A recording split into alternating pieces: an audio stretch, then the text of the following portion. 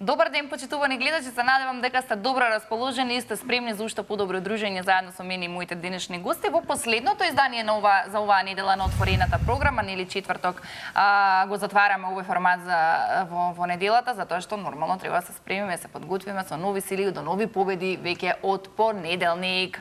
А јас мислам дека како јаготка на шлагот за оваа убаво сработена недела имам двајца прекрасни гости, сопружници кои што долго време ги гледаме како и на а, на во нашата емисија, така и на музичката сцена, на сите различни емисии ги читаме по медиумите и секогаш ми е многу драго што се а, тука гости, иако лично јас не сум ги видела кај нас во студиото од нова година, каде што одлично се поминавме, но еве сега се повторно тука да зборуваме за еден многу убав проект. Силви и Владко Плевнеш или Силви Бен, добре дојдовте. Добре ве најдовме. Како сте, кажете ми? Одлично. Па, од домакини во студио. Нели? И рековте од нова година не нема, ние секојаш кога имаме нешто ново, се појавуваме кај вас да бидеме секогаш интересни и актуелни. Да, и на нова година вие стоевте тука, јас бев да. позади камери, и си направивме журка една невидена стварно студио беше прекрасно. Мене ми е секогаш весело кога сте вие, не знам, многу сте ми расположени, секогаш вие се нервирате некогаш во животот. Не, немаме простор како не. како. Не, не, јас не. Како. Не, не, јас не. Надвор од позите се нервираме и како, но битно е да се надминат со осмев. Така, со да. насмевка. Да. Па, Силви, верувам дека, знаете, јас секогаш кога има некои луѓе кои што се многу долго време во брак, прашувам има ли рецепти, се да викаат нема рецепт, треба разбирање, трпение и љубов. Верувам дека таа формула и кај вас да, и како функционира веќе многу години. И награда Оскар за трпение. Кој има послаби живци, многу ме интересира. Па, јас, јас, јас, јас. Да? Јас да. си балансирам секогаш. така, ќе си избрам до 10 и све е во ред. Добро, жените, ние не сме баш, ние не броиме многу до 10. Не би го да, дефинирала па тоа баш така, така, јас секогаш сум посмирен, имам дебели нерви, живци, така да не се нервирам, на вистина смирен сум и секогаш Лазесите ќе се трпи. Не се нервира бидејќи тоа е узрок на нервозата. Зошто тој би се нервирал за нешто што тој го прави, мислам. Ако те молам да така? се коригирај си ги грешките во иднина. Обавезно.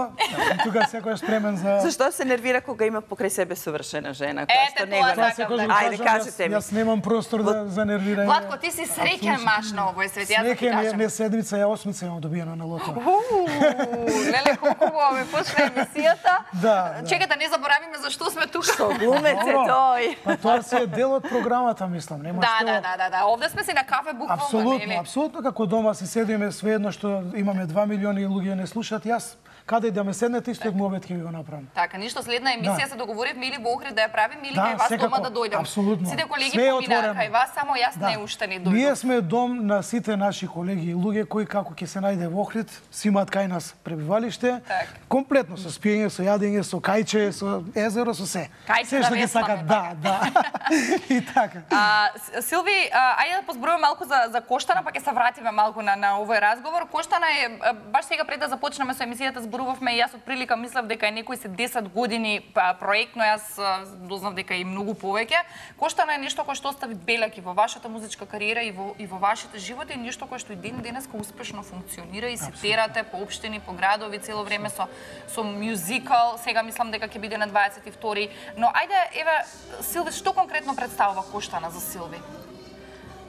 Многу пати зборував за ова онака подлабоко, не само што ме врзува моето потекло од околина на Врање, бидејќи јас сум родена во Сурдулица, самиот говор на Бора Станковиќ, дијелектот, самите композиции кои што се изведуваат во во ова дело, композиции кои што беа актуелни во тој период ширум Балканот mm -hmm. и кои што ден денес се актуелни, просто не постои ниту една забава или прослава во Македонија или широм Балканот на кое што не се изведуваат тие композиции.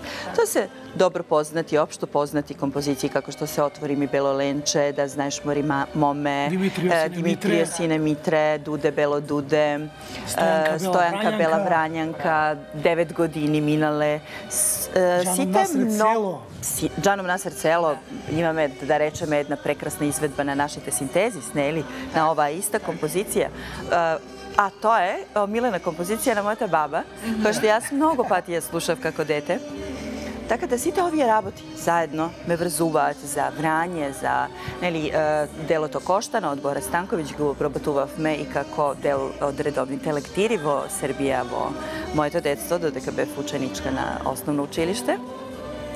Е, така да, е, исто како и Зона Замфирова, нели, е, дело кое што на Стан Сремац е исто така актуелно за Ниш во тоа време, во исто време кога и Коштана за Врање. Тоа е вистинска приказна која што се случувала во Врање при крај на 19 век. Сето тоа заедно со сегменти кои што ме врзуваат мене бидејќи јас сум исто нели пејачка која што и живе еден врст на предрасуди за врска во мешовит брак, нели? Така да сите тие сегменти и те како ме врзуваат за Коштана како лик и ми беа предизвик кога пред 20 и две, да, пред 22 години прв пат ми понудија да ја толкувам ова улога во истоимената представа во Турмичкиот театар Антон Панов mm -hmm. и тогаш започна оваа приказна.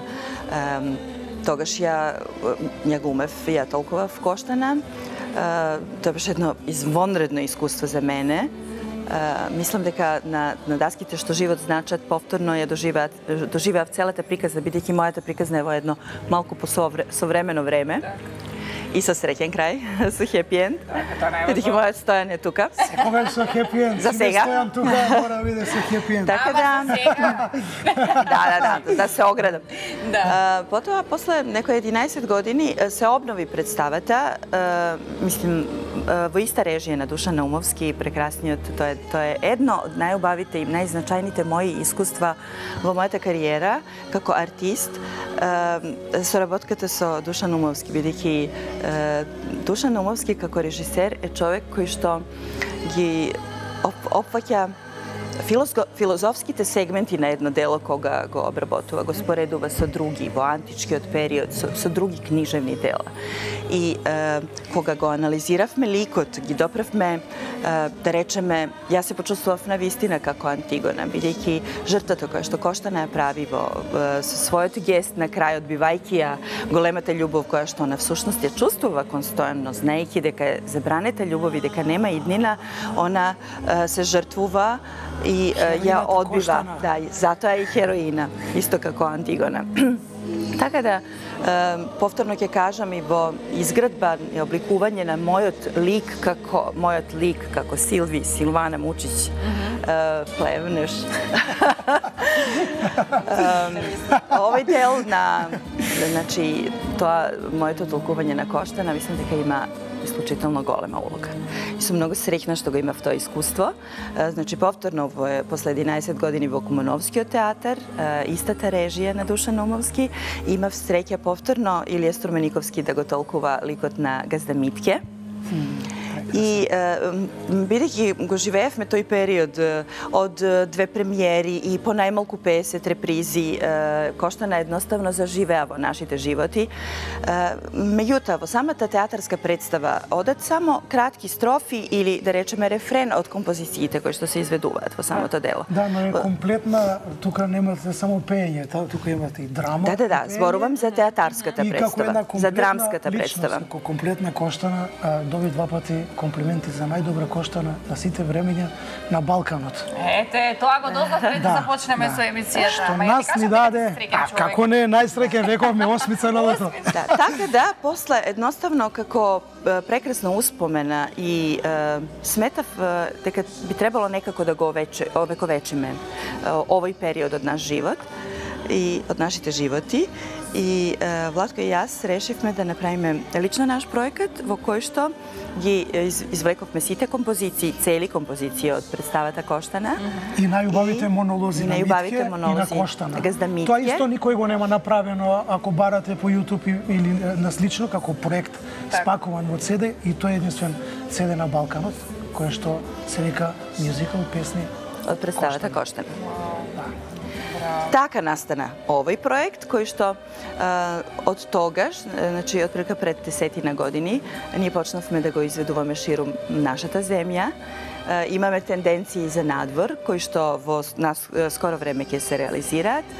И еве, бидејќи тоа е вон временски проект, Живее се уште и јас сум многу среќна што еве и луѓето од културата имаат слух за за ова наша изведа, за овој наш проект и не само тоа, туку и широката публика. Да, иначе овој проект што ќе го даваме сега на 22 јули во Охрид на Долни Сарај, влегува во преку Министерството за култура, имаме голема поддршка како проектот национал национал на- национален нели проект кој што влезе влезе во годишната Програма. програма како проект од културата, нели? со- Да, да, да, од национален интерес. Да, да. Владко, значај. колку беше, а, при- а, верувам дека за, за да си играш буквално, или можам да, Да, така да, кажам, да. во ваков проект треба многу предпазливост. Премногу. Да не избегаш од Да. корените, а пак да, си тука Јас морам да ви кажам, пр- м, многу ми беше голем предизвик, поготово тие два пати што рекоа најдобра кошта на сите времења. Многу е специфично, јас пошто сум музички аранжер, нели? Ги преработив композициите, меѓутоа многу долго го работев тоа и многу ми беше голем предизвик. Затоа што с- а, се одлучив да ја задржам рустичноста. Так. Значи оригиналноста на, ком, на композициите со една мала свежина на некој моменти ќе проигра некој вилончево, кларинет и слично мало освежување, али кога ќе ја слушнете композицијата, Да знаете дека е коштана. дека е коштана, дека е оригинална, поготово што имаме Силви како една најоригинална, пошто потекнува од местото. Она ги слушала песните од, од баба и така ги научила. Може би и тука лежи формулата sa што е она ја прогласиле за најдобра. Кога ги спомнавте корените, тоа се корени, всушност се наврати сме сме на немале корените, пооригинална на моите коштана. корени. И самиот Митке од Масурица, што е првото место до Сурдулица. Значи све е така поврзано и веројатно за тоа е тој квалитет. Так, да, дефинитивно. Затоа и, и таков успех има коштана, Да, затоа што е да. многу а- автентична приказна, Да, да, иако се случила нели пред многу години, Да, сепак да, секако. Секогаш ќе биде актуелна, што вика Силви, а, безвременски. Безвременски, но тоа и благодарение на вас, вие го имате тој проект кај нас. Да, ние го носиме со сегда и ние сме амбасадори на добрата волја. Буквално така. Не случајно и самото министерство го прифати како проектот национален интерес за Так. 2018 година. И низ многу градови, знам дека многу Да, да, фестивали поминаа со Многу фестивали бевме по многу општини, ќе ќе бидеме уште понатаму и а, по сите други што останаа општини, како општини. Меѓутоа сега ги каниме сите овој месец на 22 јули од 21 часот во Охрид До, на, Долни прекрасната Сарај. сцена на Долни Сарај и таа е оригинално одговара за Коштана, ќе собере многу луѓе, сите буирум нека повелат. Ние во текот на разговорот кога ќе пуштите некој гледач ќе дадеме и некоја карта, Так, гратиси. супер. Буирум нека дојат да уживаме, да ја доживеат а, таа а, приказна, Приказната на приказната на Коштана. забраната љубов, на хероината а, Коштана и сите и да се насмееме и да заплачеме, пошто тоа е еден а, Монолозите на Газда Митке се еден пр- вистински сендвич на Да. е, тага, е, шега Да. е, и сето она што жал за младоста всушност го носи. Е, Знаете, кога влегуваме во овие позрели години, можеме да го разбереме ликот на Газда Митке. Поготово што јас јас велам од како имав прилика подлабоко да го анализирам ликот на Газда Митке, подобро го разбирам и Владко. Тоа е секој маж на овој свет. таа е приказната на Газдамитке. Како, како што Газда Митке вели во еден од своите монолози, еве стар сум, снага ми се оклембе сила, ама уште ми е мерак по младост, по убавиња, Нели? Тоа е она филозофското, знаете, кога ќе видите убавина и младост околу себе, срцето ќе ви заигра и тагувате за нешто што знаете дека е неминовно поминало и дека останало зад нас и дека назад нема. Е, тоа е она нели, а, всушност тоа е и смисла на човекот, зошто сме минливи. Така, да. зошто а, она што минува никогаш веќе не може да не се се врати. враќа. Затоа и често знаеме да кажеме и на младите порака да му патиме да уживаат во младост. Апсолутно, Така и во секој сегашниот момент. момент. Да. Сака да, барем јас имам такво чувство дека денеска младите сакаат што побрзо да, да, да пораснат, да влезат во светот на Нема возрастните. потреба, само нека дојат, нека ја погледат Коштана, ќе ја сватат целата филозофија. Иначе ова е масовен проект на на кој што се јавуваме ние 20 на луѓе сме на сцена со народни носи, со прекрасни кореографии. Имаме кларинет, виолина, се се тоа магистри, познати музичари, Така. Имаме една убава танчарска е, Да, прекрасни група. ветерани во фолклорот кои што не следат секаде. Во општината Карпош имавме пред неколку години еден убав голем настан беше на самиот Кеј, кај што е амфитеатарот, имавме преку 5000 луѓе. И да знаете која магија е тоа за артистот да настапи пред толку луѓе. И целата енергија сежам и сега па, Да да, да, ви заплачат 5000 луѓе, па да се насмеат, па да се преплети час тага, час. Стално велам, а, мислам дека Среќа, тоа беше една од најубавите изведби, но, но се фати в себе си како за многу од нашите изведби на Коштане, јас велам, ова беше една од најубавите. Аха, А, секој е всушност- Да, впрочем, ова за која што зборува Владко беше навистина волшебно. Кеот, амфитеатар на Карпош во Кеот, на Кеот, нели е на отворено.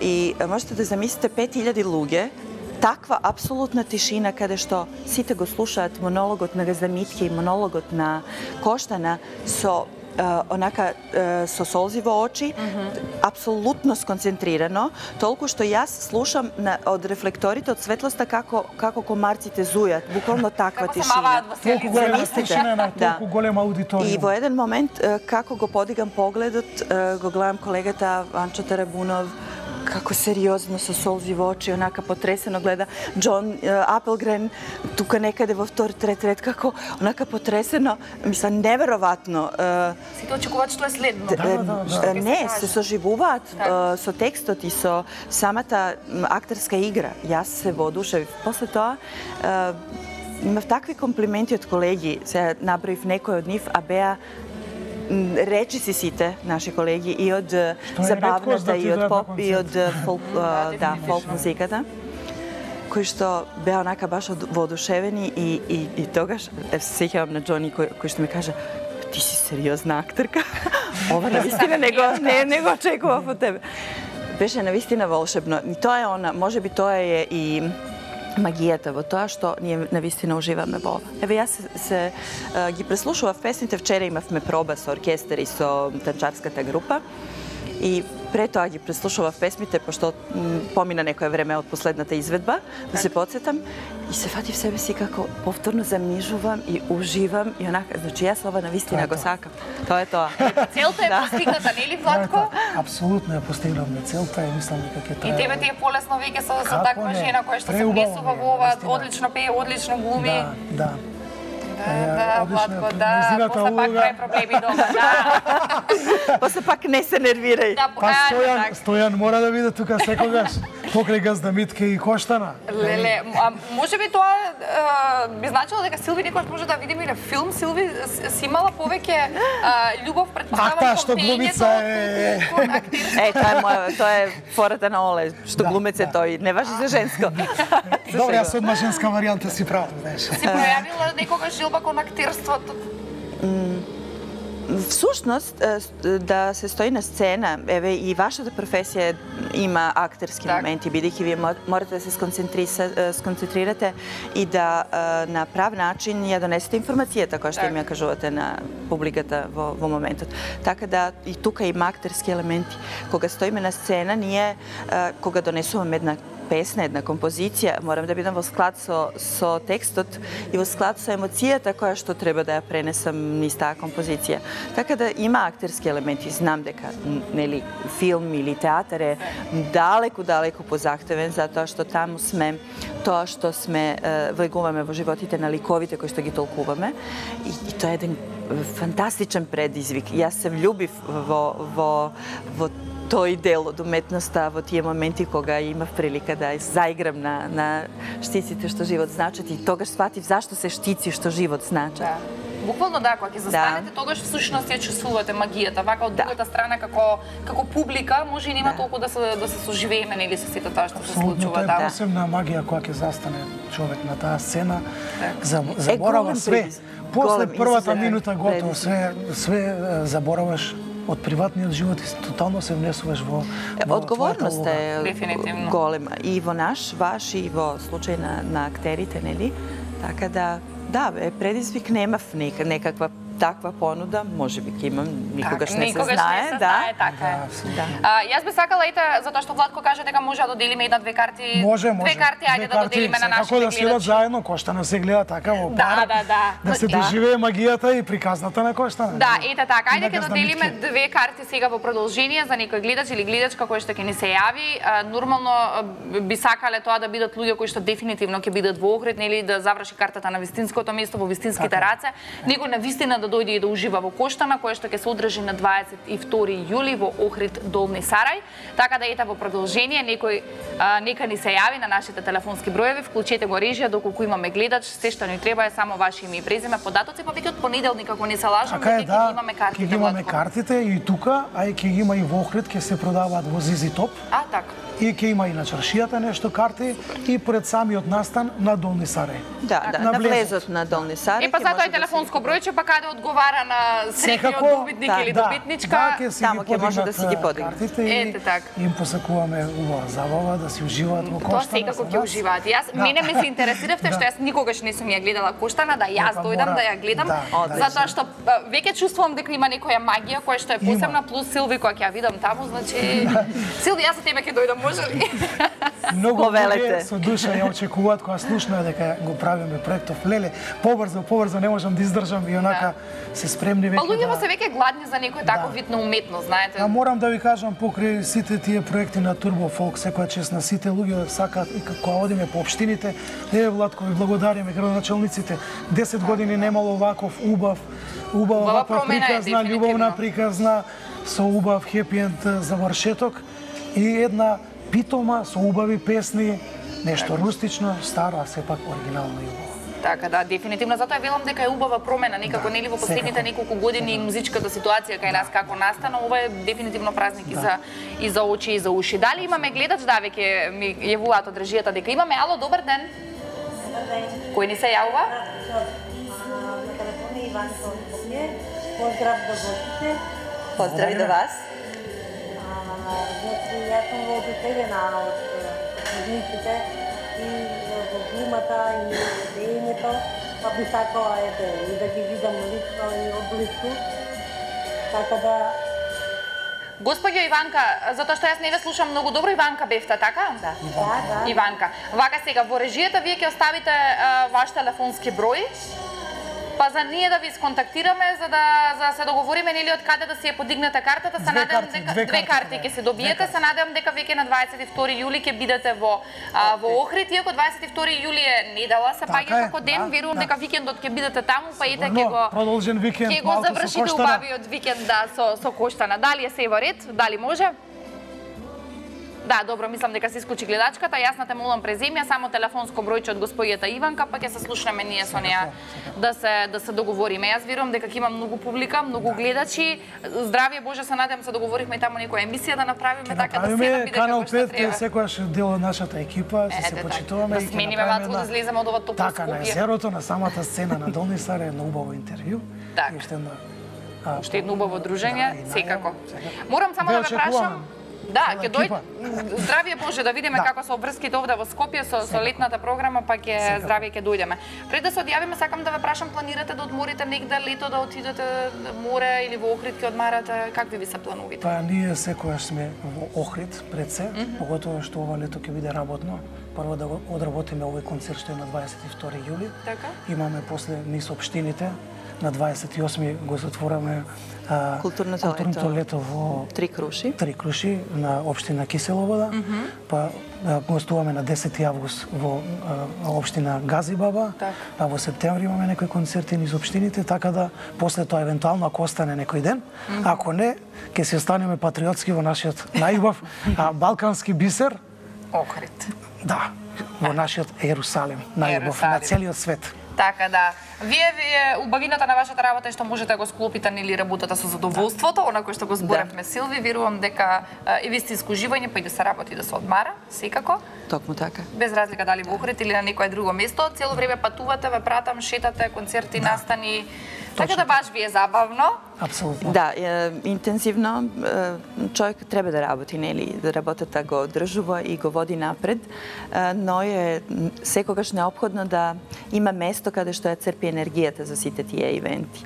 А Охрид нам ни е вистинско Така место за тоа, така да ќе Наполнете уживаме. ги батериите. Ке ни треба Имаме уште многу месеци до крајот на годината, сакаме да Треба, ви гледаме. бидејќи ние сме големи работници, сакаме многу да настапуваме, да работиме Така. и додека не служи здравието, ќе бидеме на сцената. Така, баш заедно со заедно со нашите фанови, обожаватели, да се дружиме секогаш во живо, со живи настапи, секогаш. Така да, во тоа е убавината. Јас верувам дека вие сте едни од не да кажам редките личности, но од оние личности кои што навистина уживаат во тоа што го работат и тоа се познава кај вас, тоа и се чувствува и во вашата музика и во целата ваша работа. Да. Така да ви благодарам многу што дојдовте, што одвоивте време за да не бидете гости. Следно видување како што рековме нели во во Охрид. Имаме гледач. Режија, дали имаме некој друг гледач? Сакал некој нешто да каже пред да се одјавиме? Ало, Добар ден. Добар ден. Повелете. Дали, дали може со Силвана еден збор, два да кажам? Секако можете, ајде повелете. Ајде. Ве слушаме, ве слушаме. Силвана, Да, повелете.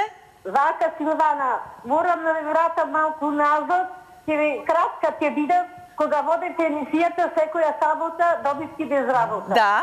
Е, Да. така. Моето внуче сега става татко, има кршивка, беше во емисијата година и пол беше и заплака во последниот ред се беше со дедо, но заплака. Вие го седовте враце, носеше на джемперке со вовче, го седовте враце, го лулевте и ни го смиривте. О, не можам тој момент да го заборавам. Многу ви благодарам, ве пратам секогаш. Умилена песна ми е Ангели ме носат. О, леле, ангели ме носат. Песната И- од моето детство. Да, му го честитам, честитам крштевката на внукот, да сте живи и здрави сите. Благодарам. Благодарам. Многу ми е драго што го слушам ова и многу сум среќна што еве и поносна дури сега себично ќе кажам на себе што сум реагирала во тој момент така. Јас децата ги обожавам и не случајно сум позитивно, многу поступила позитивно така. ме воодушевивте. Јас Фала се чудев се тресем што ќе правам дете во плати, а вие го седовте врака, го лулявте на среде на сцената, бете облечени со еден шешир имате на глава. Леле, памти го спојава како сте биле облечени супер. Благодарам за ова, ви благодарам од срце. Така е, ви благодарам господјо. Ете, по убаво завршување на емисијата, што да кажеме со ова? Силви, верувам дека си горда ете гледаш, значи Да, да, луѓето да, те да. памтат од години, години наназад по најмали работи. И детенцето ја почувствувало мојата огромна љубов за дечиња. Јас ги обожавам децата на целиот свет. Така да, баш ми е драго господјо што се јавивте. Голем поздрав до вас. живи здрави. Уште еднаш да ви се заблагодарам и а, да си имате убаво лето. Верувам дека ќе се видиме веќе во на крајот на месецот, Се така да секако, се а сите ги очекуваме на 22 јули Така е. на сцената на Долни Сарај во Охрид. да уживаат во преубавата коштана. Така е. Ете така, останете со нас почитувани гледачи во продолжение јас би сакала да пуштиме едно кратко видео како една убава најава за нашиот следен гостин кој што ќе дојде во студиото. Ова е неговата последна а, песна, па ете уживајте 2-3 минутки па да видите за кого станува збор.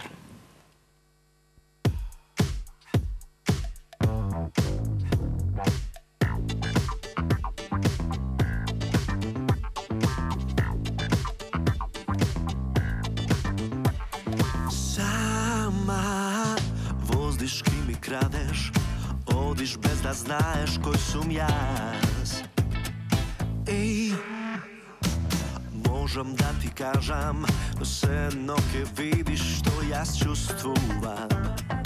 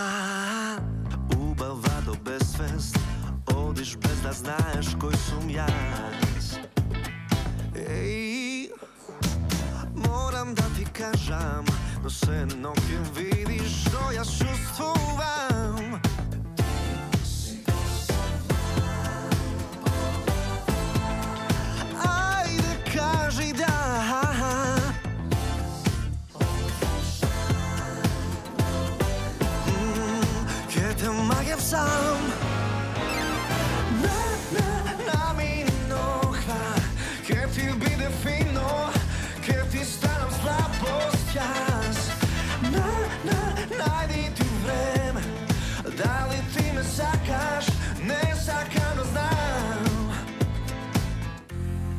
Ајде дојди ти во моите раце две Ке ти раскажам како е да ми бидеш се Биди слободна, заборави на се Вечерва си моја, само моја си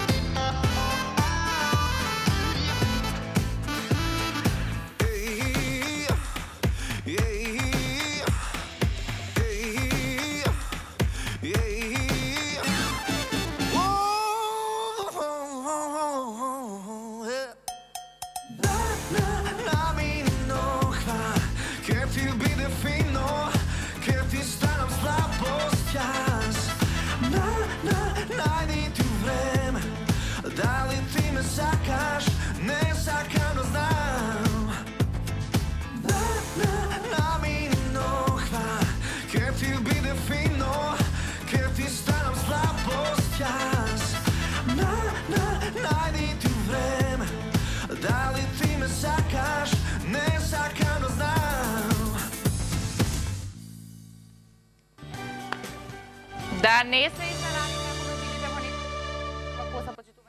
Сега и а, а, комплименти за косата на, на девојката. Не знам дали ќе ми стои за мене таква права коса, но во консултација со мојата фризерка може и јас ќе бидам нево следно видео ета на Панче да? Касапски со таква афрофризура, така? Косата е пресудна, да.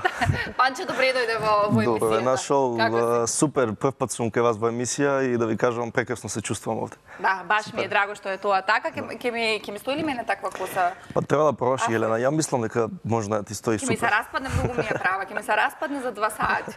Па добро, емисијата и толку трае тама. Таман за емисијата, да. Панчо, уште еднаш добре дојде во отворената програма. Ние прв пат овде се гледаме. Убава, убаво освежување е сето ова кое што го слушнавме Така сега. Убава песничка, модерна песничка и летна. Така така. Верувам дека ќе се врти по, по нашите станици, иако секогаш ние нели сакаме да ја поддржиме македонската музика и секогаш ја поддржуваме македонската музика.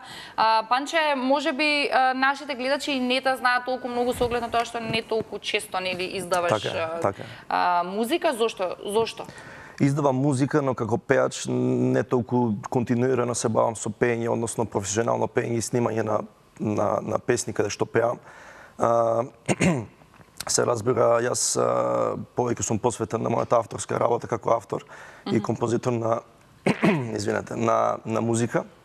Така да во тој дел континуирано работам напорно сиве овие години, а, додека како пеач, а, ете така, мислам дека од 2016 година ми беше последната песна каде што што пеев заедно со со со спот уште си ми ти се се по- последната песна, Така. предпоследната фактички песна. Така.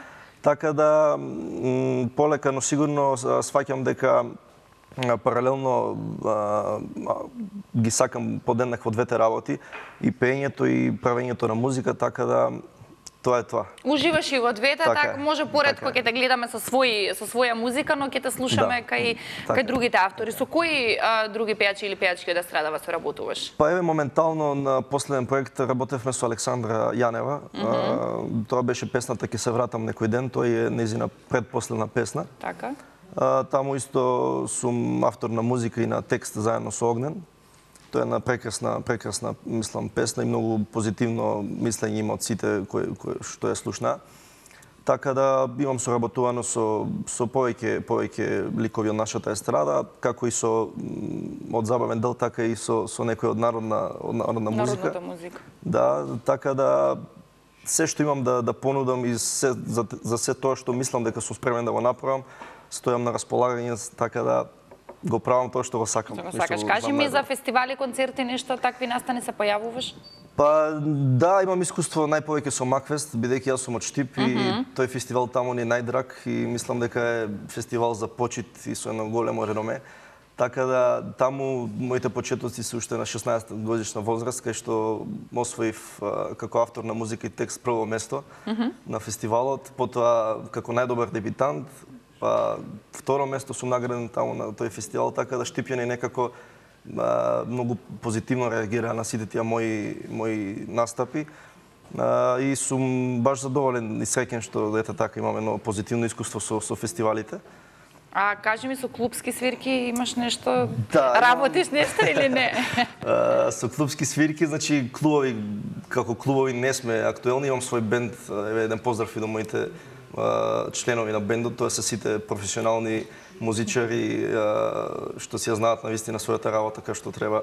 И настапуваме во претежно во некои ланч барови, кафичи и локации со некој попријатен и опуштен амбиент, Амбиент, каде што да се свири некоја пристојна културна музика. Додека си јадат луѓето, на пример, да се уживаат во позадина во така си полабаво јадат, си музичка. пијат, не мора да јадат, може само Може да само да пијат, да, Така и да уживаат во Да, музиката. тоа е отприлика таа атмосфера што што што сме најчести таму. Така, Панче, летото како планираш да го поминеш работно или ќе си одмориш? Летото ќе го искомбинирам некако со работа и со одмор, бидејќи еве овие месеци спремам дипломски испит на на музичка академија пијано одсек.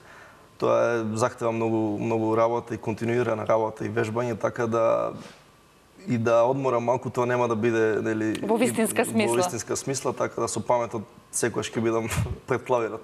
О, добро, кога треба да Здравје Боже, септември, октомври планирам да финиширам со со тие обврски. Ете, тогаш ќе дојдеш, може да дојдеш тогаш со пијано и да ни отсвириш се што Така си а, со тоа што си дипломирал, Па, тоа да ни го отсвириш. Да, ќе треба да одвоите малку поголем. Во позадина ќе те ставиме. А, добро, може. Ја ќе се терам со гости ти свири. си. Да, Може? така, Панче ти благодарам многу што што беше наш денешен гостин и вака ко засевте едно а, убаво што си направивме. Се надевам дека почесто ќе се гледаме, да си компонираш музика, си правиш спочиња, работи си тоа што го сакаш како што Фала. кажа и самиот и да се видиме тек таму септември, октомври кога ќе имаш веќе нешто ново повторно да не посетиш. Фала ви, фала ви на тоа што одвоивте внимание и што давате на подршка на сите македонски е, артисти што ги имаме и што навистина се започит. Така да, ти благодарам уште еднаш за гостувањето, а вие останете со нас почитувани гледачи. Ние имаме уште една кратка информација за вас и до самиот крај.